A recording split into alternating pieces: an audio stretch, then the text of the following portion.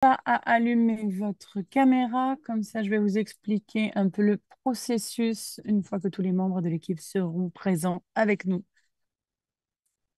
sur Zoom.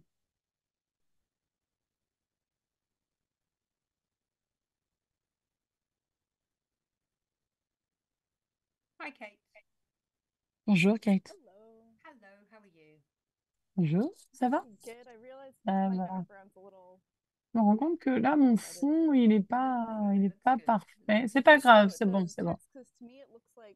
C'est juste que là, pour moi, j'ai l'impression que on voit pas bien. C'est bon pour moi. Moi, je vois bien.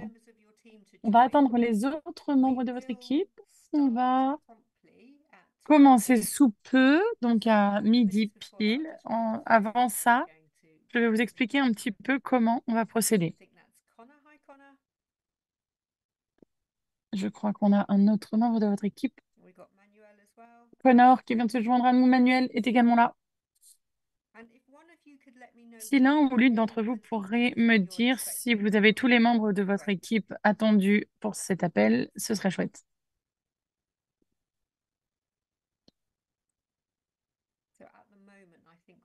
Pour l'heure, je crois que vous êtes trois.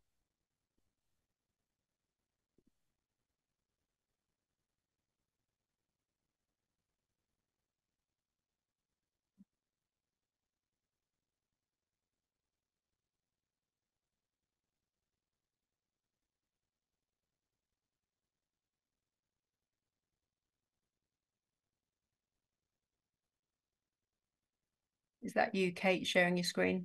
C'est vous, Kate, là, qui, vous- qui allez partager votre écran? No, that would be me. Yeah, that's my. Ah, Non, c'est moi. D'accord.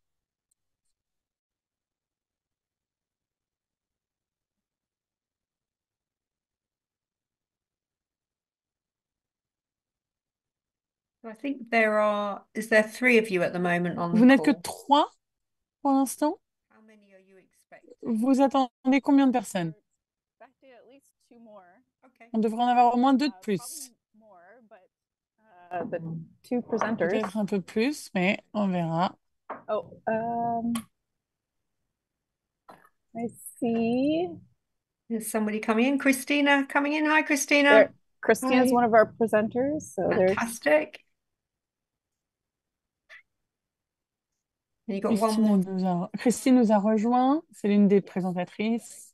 Super. Donc, il nous reste une personne qui va également prendre en charge la présentation.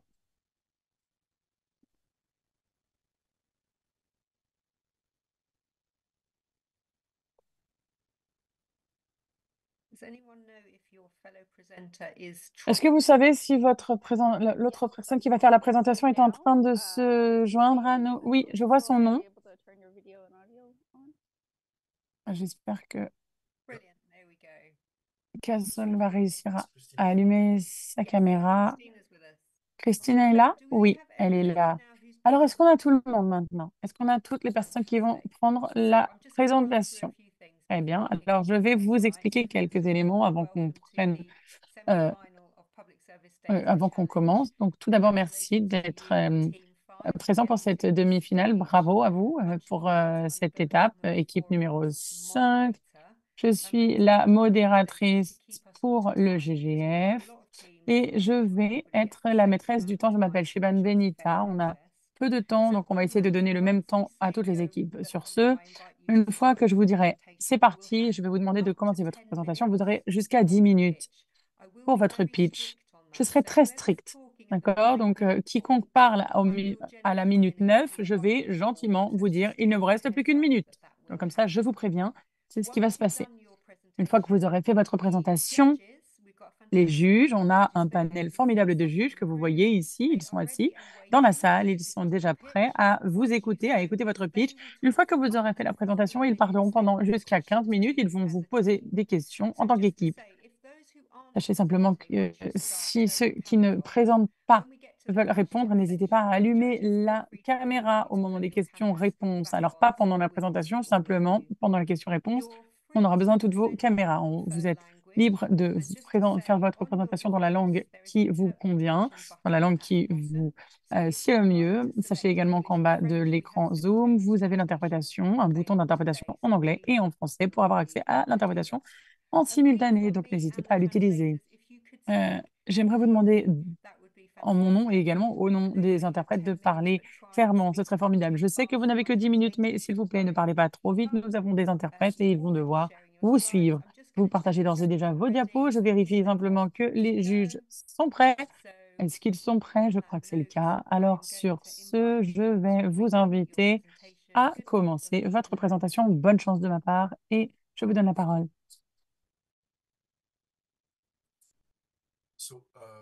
bonjour, Christina et moi allons présenter un outil pour fournir des meilleurs services aux personnes en itinérance.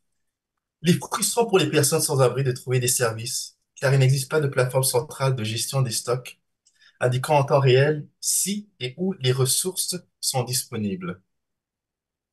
Je fais du bénévolat pour une organisation appelée Dans la rue, où nous parcourons Montréal en distribuant de la nourriture et des vêtements.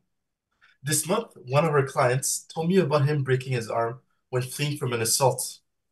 He was in so much pain that he had a hard time holding the hot dog he ordered. Une fois, il y a quelqu'un que nous avons vu qui euh, avait été victime d'une attaque. Il avait tellement mal qu'il avait même du mal à tenir son hot dog. Et malgré ça, il ne faisait, il ne faisait pas confiance au système pour l'aider. À cause de ça, il n'avait, parce que il n'avait pas de médecin. Et euh, nous voulons travailler sur les questions de santé mentale et aider les Canadiens euh, et canadiennes dans la rue. Selon les chiffres, trop de Canadiens sont encore menacés par euh, une, situation de sans-abri. 11% des ménages ont connu euh, le sans-abrisme au cours de leur vie. 2% ont été confrontés au sans-abrisme absolu. Les causes sont indépendantes de notre volonté. Il y a parfois la question de rupture familiale, euh, de problèmes de santé mentale ou des difficultés financières. C'est la raison pour laquelle il faut s'attaquer à ce problème car les chiffres sont alarmants. Euh, le sans-abrisme absolu a augmenté de 88% entre 2018 et 2012. L'occupation des refuges atteint un niveau critique. Euh, nous ne sommes pas les seuls à gérer et à collecter ces données. Être le point de contact avec les personnes sans domicile fixe fait que nous avons besoin de mettre ces, ces données à disposition. Les refuges ont leurs propres euh, données et leur propre système de collecte de données. Et les acteurs des données, euh, il y a tout d'abord donc les refuges, Infrastructure Canada, mais c'est compliqué pour eux de, de, collecter des données. Il n'y a pas assez d'expertise, d'analyse notamment, et donc ils n'utilisent pas assez ces données pour améliorer les services.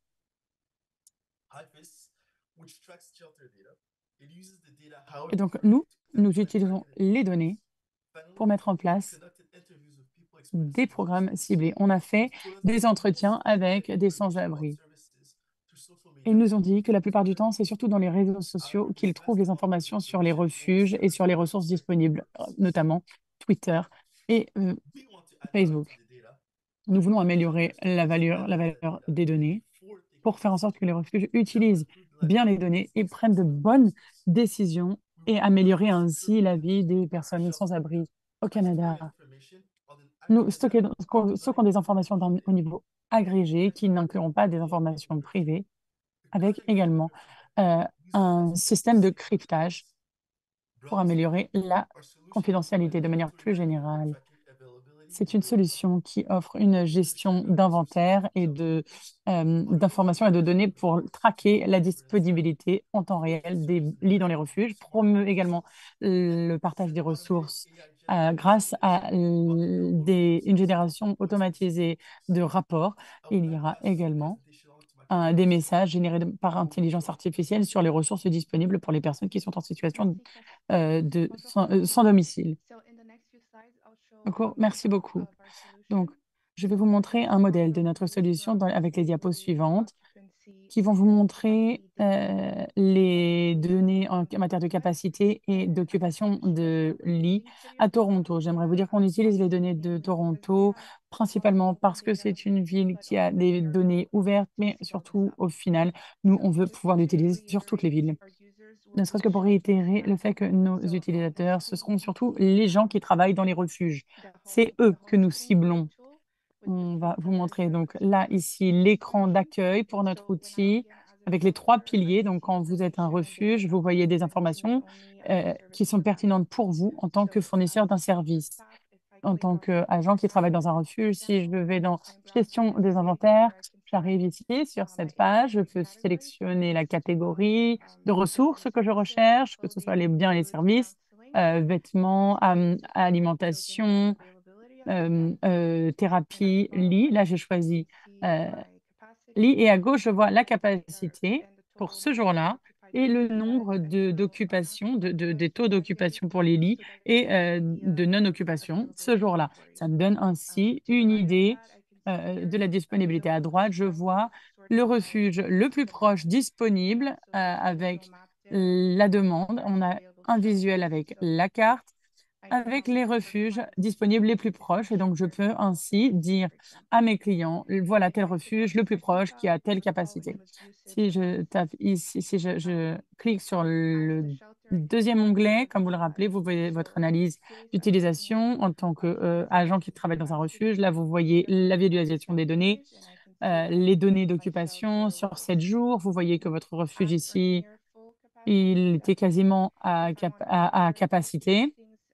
Si je veux euh, un historique plus complet, je peux aller jusqu'à cinq mois. Ça me donne une idée au mois, par mois, les tendances. Troisième et enfin le dernier onglet, euh, prévision.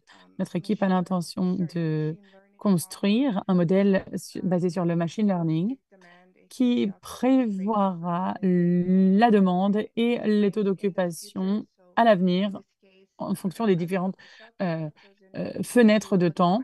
Dans ce cas-là, j'ai regardé la prévision de demande entre le 8 et le 11 mai, comme vous voyez dans le petit calendrier.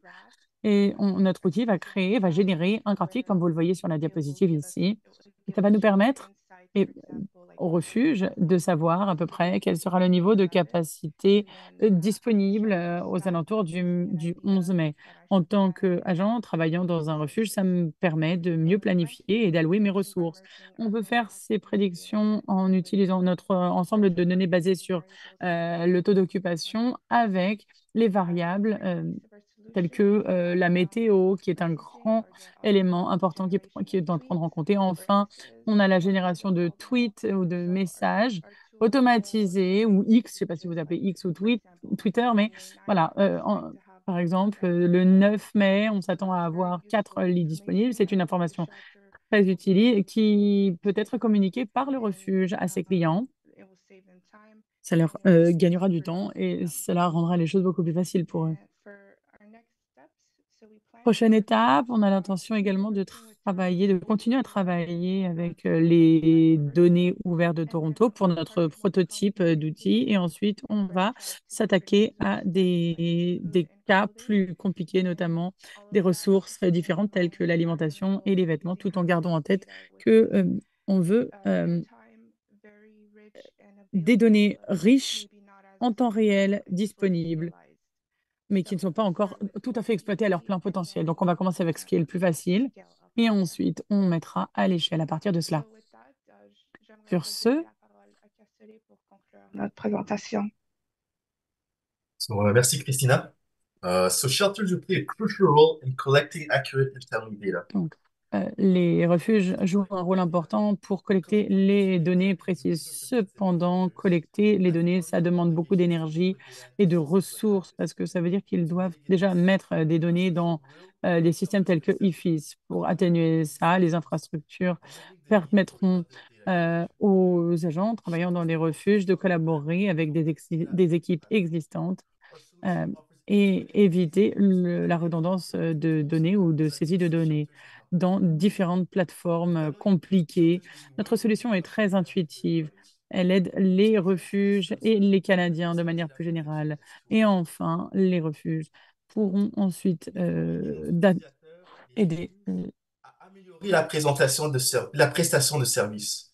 Nous voulons réduire les barrières aux personnes sans abri et finalement, nous voulons fa- faciliter l'élaboration de politiques. Mais plus que tout, n'oublions pas les visages et les histoires qui se cachent derrière les statistiques. L'itinérance n'est pas qu'un chiffre, c'est une réalité pour des milliers de Canadiens. Désolé, Plus mais one minute, une minute. plus nous tardons à agir, plus les blessures de l'itinérance seront profondes dans nos communautés, notre économie et plus encore dans la vie de ceux qui en sont victimes. We cannot afford to let this crisis continue to grow unchecked. Let us stand together, united in Nous our ne pouvons pas continuer à rester dans l'inaction. Le gouvernement doit agir. C'est le moment d'agir. Nous n'avons plus le choix. Thank you for listening to the presentation. The- what- Merci d'avoir the écouté cette présentation. C'était un bel exemple de travail d'équipe. Je remercie tous mes collègues avec qui nous avons travaillé. Thank you all. Super, merci beaucoup. I'm going to invite everybody to put Excellent, merci beaucoup. Je vais donner à tout le monde, demander à tout le monde d'allumer votre caméra. Vous allez pouvoir arrêter de partager votre écran. Merci beaucoup pour cette formidable présentation. Je vais maintenant donner la parole au juge qui veut poser la première question. Great presentation. Thank Yeah, you so Erica, much. thanks. Hi. Excellente présentation, merci beaucoup. Qui commence? Erika, on vous écoute. Formidable présentation, merci beaucoup. je suis très intriguée, à vrai dire. Euh, uh, étant donné la, crise et l'augmentation du sans-abrisme, je sais combien c'est un défi. Je me demande de quel, à quel ensemble de données vous avez intégré. Je crois que vous avez présenté au début de la présentation un, euh, tableau euh, de données. Est-ce que vous avez utilisé d'autres ensembles de données provenant d'autres sources que les refuges? Ça, c'était donc ma première question. Deuxième question, je me demande, est-ce que vous avez exploré les similarités entre euh, les, avec les outils de gestion des ressources des hôtels, les ressources euh, hôtelières, notamment le Hilton, le Marriott? J'imagine qu'ils ont un outil pour gérer leurs euh, ressources alimentaires, lits, etc. Est-ce que vous avez fait des comparaisons avec ce type de, de secteur? Qui veut prendre cette question? Je peux prendre la première partie. Le graphique auquel vous faites référence, c'est probablement celui que vous avez vu dans la première ou la deuxième diapositive. Qui vient donc du, des données euh, sur les capacités de lits disponibles à Toronto. C'est également les données qu'on a utilisées dans notre modèle. Euh, pour les autres graphiques, ce sont des données qui sont gradulaires, qui sont collectées tous les jours à 4 heures du matin. Donc, ce n'est pas en temps réel, mais à peu près, presque. Et on a également euh, euh, utilisé les données ouvertes, les open data de la province d'Alberta et des données historiques, parce qu'ils ont des données qui datent de 2013, donc euh, plus de 10 ans euh, de données qu'on a pu analyser dans notre outil. Excellent. Y a-t-il quelqu'un d'autre qui voudrait intervenir sur cette question? Excuse-moi, pour le, pour hotel question, uh, it's, it's actually, Pour la question sur les hôtels, on ne va pas réinventer la roue. Comme Christine l'a dit, notre solution, c'est un euh, système de gestion des inventaires. Et les hôtels, ils en utilisent. Donc, euh, c'est une excellente comparaison de parler des hôtels. Donc, on s'attend à ce que leurs outils soient assez similaires. Nous, on veut que les différents refuges soient également connectés entre eux. Mais vous avez tout à fait raison, ce sont des outils qui sont, somme toute, assez similaires. Cher Jules, je reviens à vous. Élise, quelques questions très rapidement. C'est très bien fait, puis c'est agréable d'entendre un petit peu de français aussi. Merci beaucoup, Cassoli, pour ça. Euh, donc, ma première question va être en français. Vous mentionnez les sources de données étant de open data, mais je me demandais si dans votre modèle de prédiction, euh, si vous, si vous ajoutez des trucs comme la température ou les données météo, les prévisions météo, parce que j'ai l'impression que ça aurait une certaine incidence sur euh, l'occupation. Um, and the second one is more about the data standard, the, the Deuxième question sur les standards en matière de données. Comment est-ce que vous réconciliez ces données? Euh, est-ce que vous pensez que ce sera un défi pour sortir de la ville de Toronto uniquement? Vous avez parlé euh, de Alberta, notamment, Christina. J'imagine que vous avez l'intention de couvrir la plupart des villes principales euh, du pays. Donc, comment quels sont les obstacles à la mise à l'échelle? Qui veut euh, prendre la parole sur ces deux parties de la question? Christina Casol, who's coming in? Christine- Christina can, um, je m'excuse, je vais, je vais répondre en anglais si c'est OK. Um, for the prediction part, so Je- yes, for Je peux répondre en en anglais. Donc, pour la partie prévision, clairement, on va rentrer dans le détail des différentes variables en matière de prévis- prévision météorologique.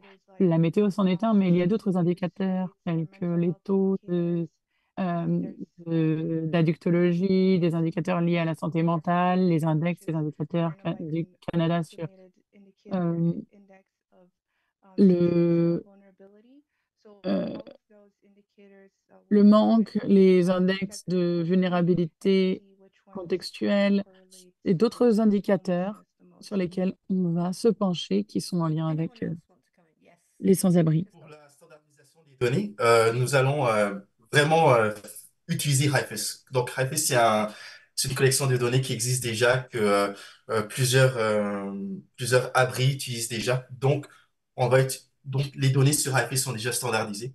Alors, on va seulement utiliser les données sur HIFIS. L'objectif de notre projet, c'est vraiment utiliser ces données d'une façon pour aider les abris, parce qu'en ce moment, ces données sont seulement sur notre base de données à Infrastructure Canada, et ça, ça, ça, ça sert qu'à nous, quoi, à faire des politiques. Mais à notre avis, ça peut vraiment aider les abris à fournir des meilleurs services aux Canadiens. Donc, euh, ouais, c'est vraiment euh, notre projet, c'est vraiment un out of the box project, right? On a déjà le Inventory Management System, ça existe déjà, et euh, le HiFace, on a déjà des données. C'est juste vraiment intégrer tout pour faire un, faire un- une solution euh, plus appropriée pour les abris. Thank you. Judges, I'm coming back to Très you. bien, cher juge, je reviens vers vous. Qui veut prendre, euh, poser la, la prochaine, la prochaine question plutôt? Dominique? Julie, sorry. Julie and then Dominic. ou Julie et ensuite Dominique? Euh, très bonne présentation. Juste peut-être deux petites questions. Vous parlez comme un de vos défis de la, la nécessité de convaincre les utilisateurs. Euh, est-ce que vous avez quelques idées de comment commencer à faire ça? Puis, um, my other question was regarding you, you're, you, you're talking Autre about. question. Vous avez parlé de logement.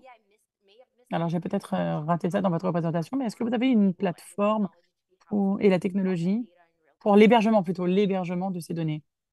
Merci. Who would like to take that question? Qui veut prendre cette question? Any member of the team can talk as well. Tous les membres de l'équipe peuvent prendre la parole. Kate, si vous voulez, allez-y.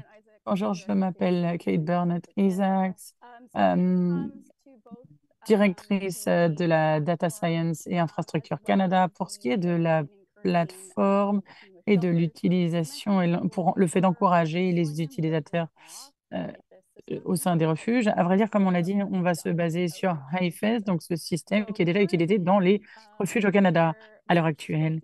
On est en train de mettre en place une nouvelle version de HIFUS qui inclut également davantage euh, de d'interaction avec les autres euh, refuges. On travaille d'ores et déjà avec les refuges pour qu'ils utilisent mieux et qu'ils améliorent leur capacité analytique avec la version actuelle de HIFUS. Et donc, le but de, cette, euh, de ce projet, c'est de fournir un, des blu- blueprints et des enseignements tirés ainsi que euh, un paramétrage pour une nouvelle version de cet inventaire des ressources. Um.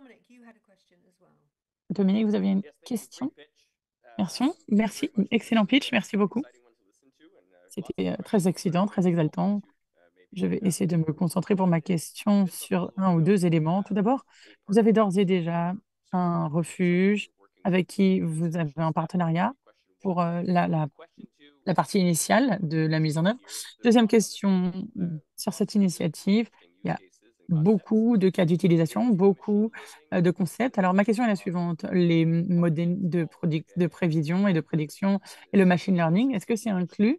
Est-ce que, euh, si ce n'est pas le cas, est-ce que ça peut quand même fonctionner euh, uniquement basé sur les données des refuges? Alors, euh, parce que bien sûr, il y a, vous avez parlé des tweets automatisés, etc., de la partie automatisée et de la prise de décision automatisée avec les algorithmes et les évaluations d'impact.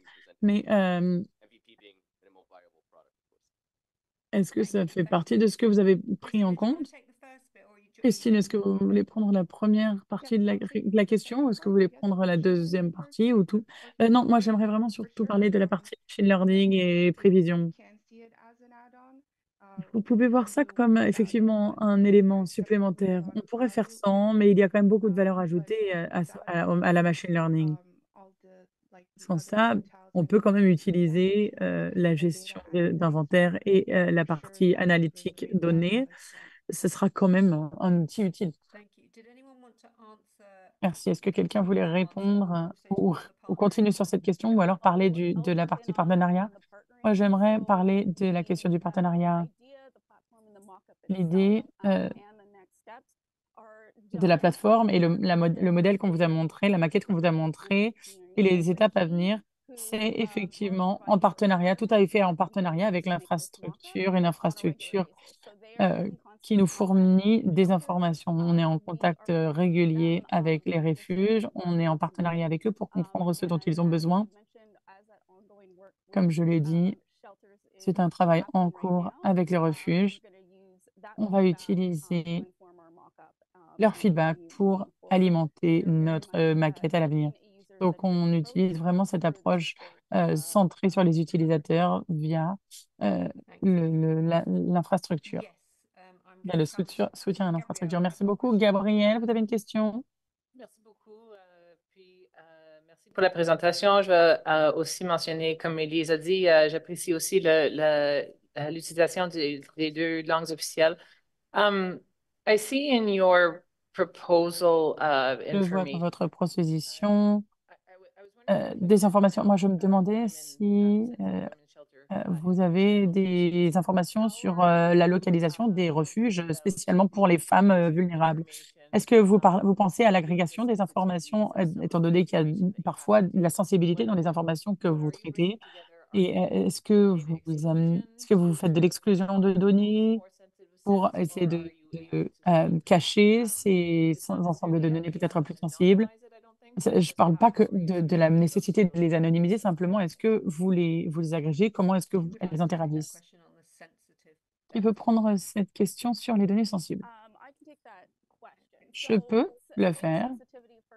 La sensibilité des données, tout d'abord, on essaye d'utiliser des données uniquement anonymisées. Alors oui, on veut des informations plus granulaires pour fournir des informations nécessaires pour les refuges, mais c'est également une des raisons pour lesquelles on propose dans notre solution le fait d'avoir un- un- une importation de données euh, privées dans la solution. Donc, ce qu'on veut faire, c'est euh, tout d'abord créer un- une relation de confiance avec les refuges et s'assurer qu'ils utilisent et, incluent leurs informations, notamment les informations sensibles. Vous avez parlé de l'exemple des refuges de femmes pour- on essaie de leur, de leur montrer qu'on protège leurs informations. On va euh, faire une expérimentation avec euh, un système de, cryptage des informations pour garantir le fait que les informations soient protégées et euh, pour tout, pour continuer à utiliser les, euh, informations agrégées et les informations analytiques. Pour revenir sur ça, euh, est-ce que vous envisagez de euh, faire une, euh, une authentification des données? Est-ce que euh, vous leur euh, permettez d'authentifier les données auxquelles vous avez accès?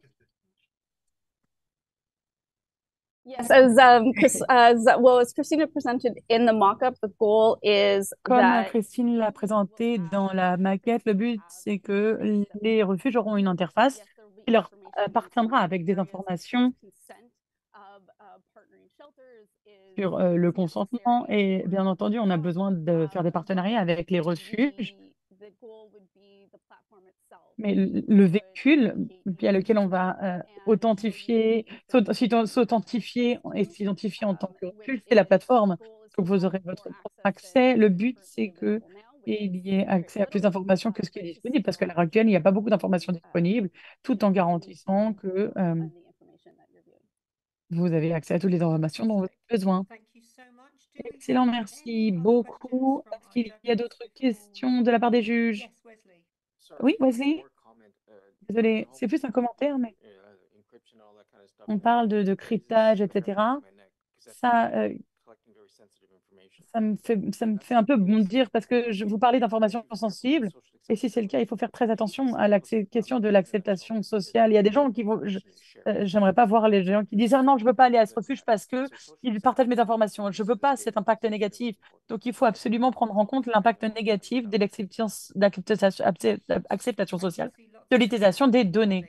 D'accord, je vois beaucoup de gens qui opinent du chef dans l'équipe. Donc, est-ce que vous avez réfléchi à ces questions? Parce que oui, il faut penser à la question de la transparence.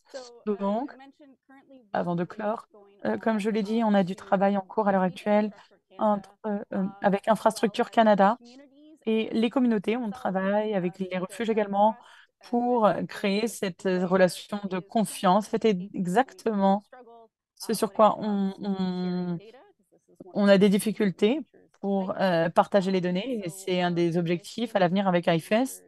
Donc, avec ces mesures de, de confidentialité, c'est ce qu'on veut faire. On veut créer cette transparence, euh, cette euh, confiance et inciter les refuges à partager leurs informations. Merci beaucoup. Je crois qu'on a atteint la fin du temps imparti. Dominique, vous aviez la main levée. Oui, une dernière question, si je peux me permettre. Désolée de mon interrogance, de mon ignorance, mais vous avez parlé des tweets. Euh, l'utilisateur final de ces tweets, qui sont-ils? Ce sont les gouvernements par- municipaux ou les euh, refuges euh, alentours ou est-ce que c'est surtout les sans- sans-abri? uh, like C'est pour les sans-abri. Comme euh, with, l'a dit, mm, people experiencing homelessness and the main il y a beaucoup de gens qui sont sans-abri. Et les messages et les, les canaux sur lesquels ils obtiennent leurs informations, c'est surtout les posts sur les réseaux sociaux. Donc au final, on essaie simplement d'aider les euh, refuges à mieux gérer euh, la, la- le flux d'informations, notamment via les réseaux sociaux. Thank you for that great presentation. Merci I pour cette excellente invite présentation. Je vais to vous inviter maintenant à nous quitter et luck je vous souhaite thank euh, you to all bonne of chance you. à l'avenir. Merci à toutes et à tous. Thank you. And over to our judges. Je rends la parole au juge quand tout le monde aura quitté l'appel. There we go. So, judges, I think now Très you bien, donc have les juges, je crois qu'on a déjà normalement les 5 à 10 minutes pour faire votre débrief sur cette cinquième présentation et ensuite vous aurez également, vous serez contente de savoir que vous avez une pause pour le déjeuner. um, Donc, on reprendra avec la prochaine 1:15 présentation à And we'll euh, start letting the next team 1h15, in uh, shortly after 1 mais on laissera rentrer la prochaine équipe vers Maybe not 13 heures. whatever time. Merci. Bah bon appétit, que ce soit le déjeuner ou le dîner pour vous. Merci. Profitez bien de votre pause déjeuner.